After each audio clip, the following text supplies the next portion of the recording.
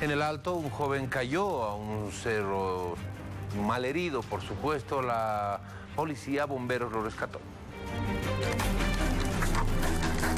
El rescate se dio en la zona Arcoíris, colindante con el municipio de Chocalla. Un joven de 19 años rodó por la pendiente de un cerro a una profundidad de al menos 50 metros. Ha rescatado a un joven de 19 años. ¿Qué pasó?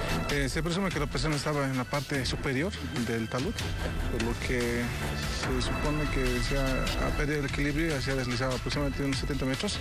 Vecinos de esa jurisdicción llamaron a bomberos del grupo Versa de la urbe alteña. Cuando estos revisaron a la víctima, notaron que presentaba varios golpes y posibles fracturas en su cuerpo.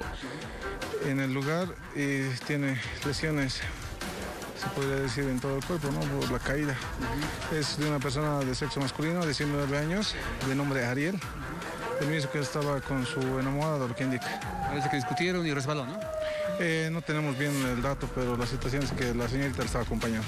El acceso al lugar del hallazgo fue bastante accidentado. El hecho movilizó a varias patrullas. ¿Ahora va a ser trasladado a qué centro médico? A Hospital Valdés.